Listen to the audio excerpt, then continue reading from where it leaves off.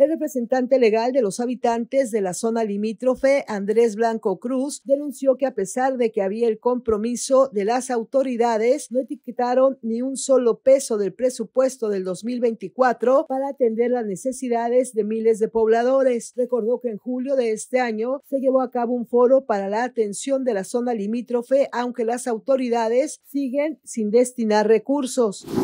Cero presupuesto para el tema de este programa, ¿no? Inclusive se convocó a la gente en julio pasado a través del gobierno del estado y no se ve reflejado. Le, echamos una leidita al, presupuesto de eso y no hay, no hay, o sea, para el gobierno del estado aún no existe la zona limítrofe sostuvo que siguen poniendo de pretexto que por el conflicto limítrofe y la controversia constitucional no pueden realizar obras. Expuso que esta situación la sigue aprovechando el vecino estado de Campeche para sostener que el territorio en disputa le pertenece. Para Notivisión, Marta Torrero Ortega.